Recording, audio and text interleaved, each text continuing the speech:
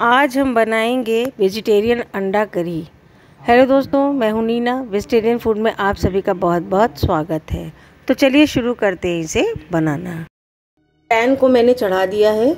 अब मैं यहाँ डाल रही हूँ दो बड़े चम्मच मस्टर्ड ऑयल आप जो भी कुकिंग ऑयल खाते हो, उसमें बना सकते हो। अब इसमें डालेंगे एक टीस्पून जीरा और दो बड़े साइज़ के प्याज को मैंने ग्रेट कर लिया है, अब इसे भी हम डाल देंगे। और इसे हम गोल्डन ब्राउन होने तक भून लेंगे। प्याज गोल्डन ब्राउन हो चुका है, अब इसमें हम डाल देंगे दो बड़े साइज़ के टमाटर कटे हुए। दो बड़े चम्मच धनिया पाउडर एक बड़ा चम्मच हल्दी पाउडर एक छोटा चम्मच लाल मिर्ची पाउडर एक छोटा चम्मच किचन किंग मसाला आधा छोटा चम्मच दालचीनी पाउडर और आठ से दस लौंग लिया है। ये भी हम डाल देंगे। सारी चीज़ों को अच्छे से मिलाते हुए टमाटर गलने तक पका लेंगे।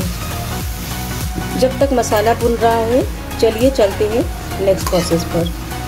दो टेबल स्पून यहाँ पर मैंने पोस्ते दाने को भिगो दिया था। इसे हम मिक्सर ग्राइंडर जार में डाल लेंगे। भीगे हुए आठ से दस बादाम और थोड़े से काजू को भी हम डाल देंगे। और अब इसमें डाल देंगे दो बड़े चम्मच भीगे हुए तरबूज के बीज। अब डालेंगे इसमें आधा कप पानी और इन सारी चीज़ों को पीस कर एक इसका फाइन पेस्ट बना लेंगे। पेस्ट बनकर तैयार है। अब हम इसे एक बोल में निकाल लेंगे।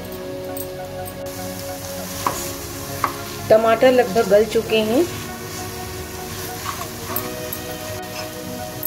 और मसाला भी लगभग भुनकर तैयार है। अब हम इसमें डालेंगे दो हरी मिर्च 10 से 12 लहसुन की कलियाँ, दो इंच अदरक का टुकड़ा, जिसे हम काट लेंगे। इन सारी चीज़ों को मैं बाद में इसलिए डाल रही हूँ ताकि इसका फ्लेवर निकल कर आए। बहुत ज़्यादा भूनने पर इसका फ्लेवर दब जाता है। और आधा छोटा चम्मच कसूरी मेथी। अब इन सारी चीज़ों को भी हम दो मिनट तक भूनेंगे और ठंडा होने के लिए रख देंगे। जब तक मसाला ठंडा हो रहा है, कर लेते हैं आगे की तैयारी। आधा किलो पनीर को मैंने कपड़े में लपेट कर सिल के नीचे इसे दबा दिया था, जिससे इसका सारा पानी निकल गया है। आप देख सकते हो, ये बिल्कुल भी गीला नहीं है, बिल्कुल ड्राई हो चुका है।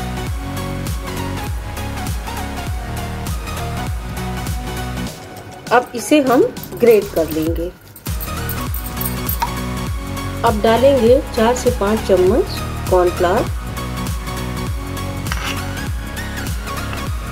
अब इसे मिलाते हुए इसका एक थोड़ा सा टाइट डो बना लेंगे।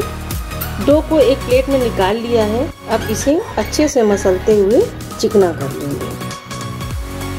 अब डालेंगे इसमें दो बड़े चम्मच मिल्क पाउडर। इसे भी मिक्स करते हुए अच्छे से मिला लेंगे। अब इसमें डालेंगे स्वादानुसार नमक और इसे भी अच्छी तरह से मिक्स कर लेंगे। अब इसमें से थोड़े से पार्ट को हम अलग कर देंगे। डालेंगे थोड़ा सा फ़ूड कलर और इसे भी अच्छे से मिला लेंगे। यहाँ पर मैंने येलो फ़ूड कलर का इस्तेमाल किया है। येलो वाले पार्ट से हम छोटे बॉल्स बना लेंगे और वाइट वाले पार्ट से हम थोड़े बड़े बॉल बना लेंगे। जितने बॉल हम छोटे बनाएँगे उतने ही हम बड़े बॉल्स भी बना लेंगे। यहाँ पर मैंने पाँच येलो बॉल्स बना लिए हैं और पाँच ही वाइट बॉल्स बना लिए हैं। अब वाइट वाले पार्ट के अंदर हम येलो वाला पार्ट रख के इसको हम अंडे का शेप देंगे। ये देखिए, इसी तरह हम सभी बॉल्स को बना लेंगे। ये देखिए सभी बॉल्स हमारे बनकर तैयार हैं। चलिए अब हम कर लेते हैं इन्हें फ्राई ऑयल गरम है। अब हम इन्हें एक एक करके उलटते पुलटते हुए फ्राई कर लेंगे।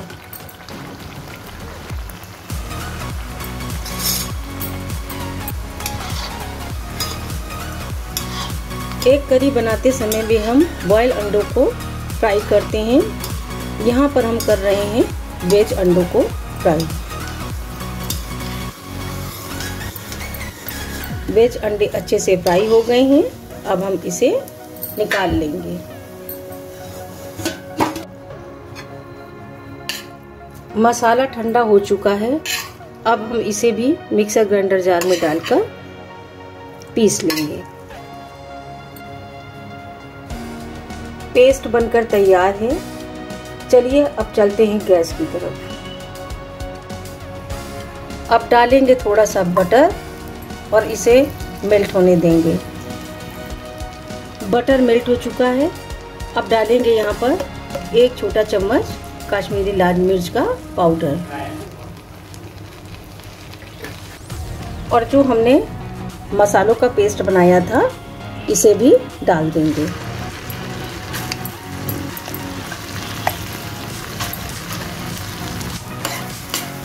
सारी चीज़ों को हम चलाते हुए दो मिनट तक भूनेंगे।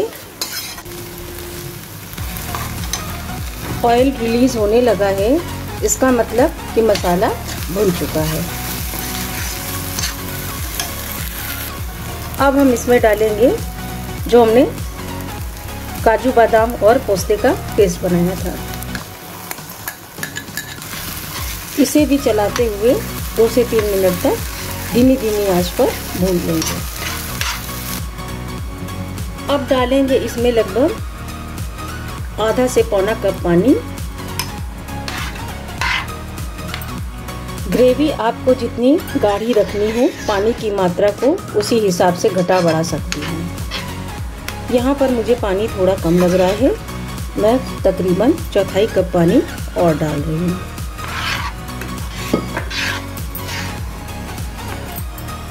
अब इसे कवर करके बॉयल आने तक पका लेंगे। फ्लेम को रखेंगे मीडियम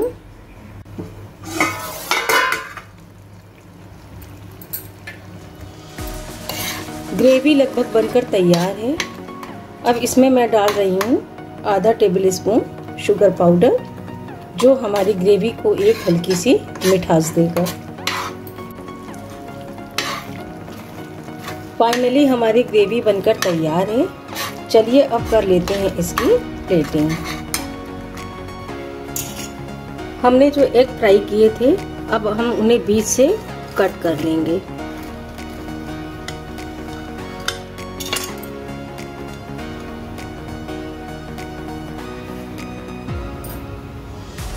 देखिए, बिल्कुल लग रही है ना अंडे?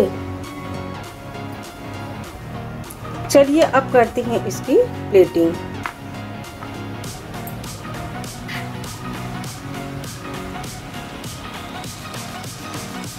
पहले हम प्लेट में ग्रेवी को डाल देंगे। अब इसके ऊपर हम रखेंगे वेज अंडों को।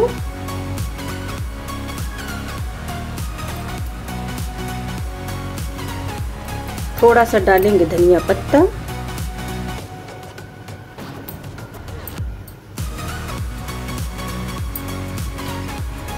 और फिर हम ऊपर से डाल देंगे इसमें ग्रेवी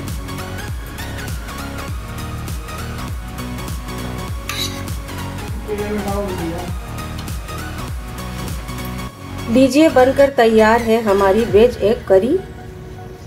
रुमाली रोटी और राइस के साथ आप इसका आनंद ले सकते हैं। जब तक आप इसका आनंद लेंगे, तब तक मैं दूसरी रेसिपी के साथ हाजिर होती हूँ।